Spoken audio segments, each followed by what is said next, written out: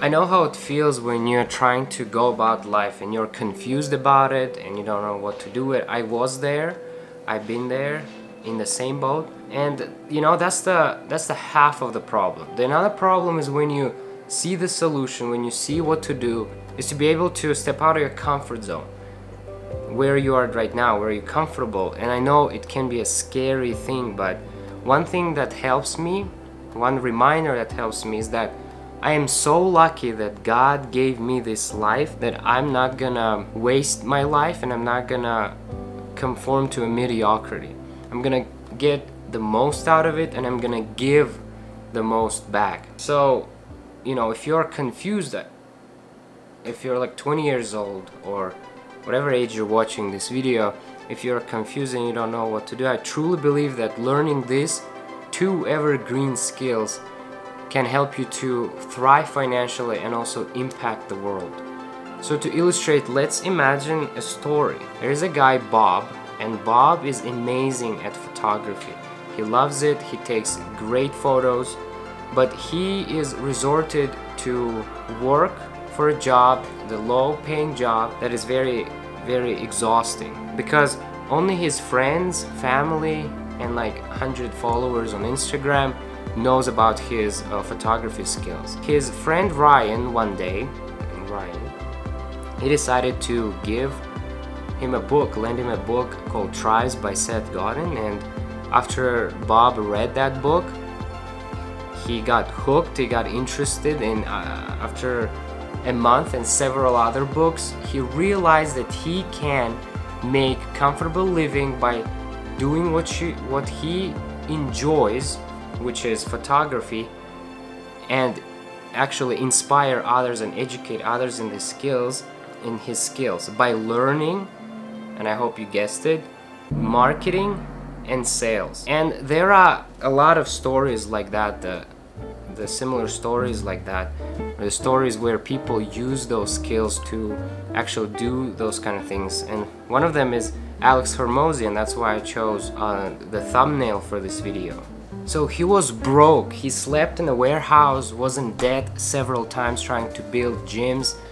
And he just was very broke and poor and he was poor until he realized and saw the opportunity to use his sales skills because he was a salesman, had a sales skills to sell his experience of building gyms to others, which is genius and using those sales and now marketing skills by uh, going on YouTube and creating content, bringing more leads, he makes, or that time he made about $100,000 in a couple of hours by selling. That's insane.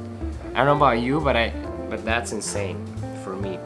There are also others such as Peter McKinnon, even though he maybe doesn't make that much money, but he makes, I think, enough for comfortable living and doing what he loves. Justin Welsh, Dan Koe, um, Sahil Bloom, and other creators that I don't know about it.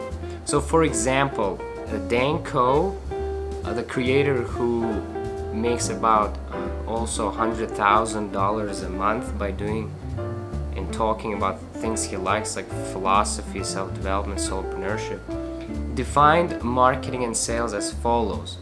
So marketing is creating a message that is attention grabbing, relevant and valuable for a specific person.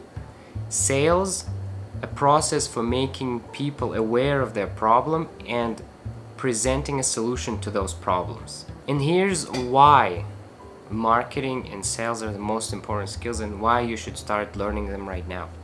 So let's talk about storytelling. Storytelling is integral part of marketing if it's not the marketing and sales or the core of it, right?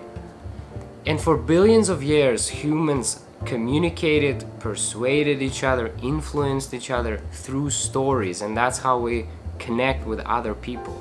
So stories was the most impactful and ancient ways of of communicating and and influencing. So when you go to the job interview, when you're trying to get a raise, when you talk with your spouse, when you just doing presenting some kind of research or defending your dissertation whatever it is, you are you are trying to sell and market your ideas yourself your skills your solutions to the problems and etc so marketing and sales almost in everything every day of your life you probably don't even realize that. That's one thing the other thing when you combine marketing and skills with with things you interested in and or good at you open an endless possibilities of making enough money to live comfortably by doing what you enjoy by doing what interests you and and making sure you and your family if you have family or if you are thinking to build one that they are provided for and secure for example justin welsh he talks about solopreneurship the thing that he's obsessed about and he makes five million dollars a year. F five million. Sorry, that's crazy. That's and you know I'm I'm in my journey of becoming financially free by becoming a self-taught entrepreneur online. For now, it's online. You know, as a creator and I'm I'm learning these skills also marketing and sales I'm actually going to school for marketing and I, I'm not a purebred entrepreneur. Despite that, I'm gonna step out of my comfort zone and actually go and learn those skills, go and become and prove myself that it's possible to become an entrepreneur. And that's what I encourage you to do. And, and that's why I encourage you to learn these skills. If you don't know what to do next, I feel like it's a good way to start. And here's what you can do for now. You can go pick a book, Tribes by Seth Godin or any of his books because they're about marketing and just start reading them and I feel like it's a good start. Actually I'm gonna make a video on like step by step how to improve your marketing skills and learn marketing and sales. Um, so I don't know so that, that video gonna be somewhere here. I don't know it's either already out in here or maybe not yet depending when you're watching watching this.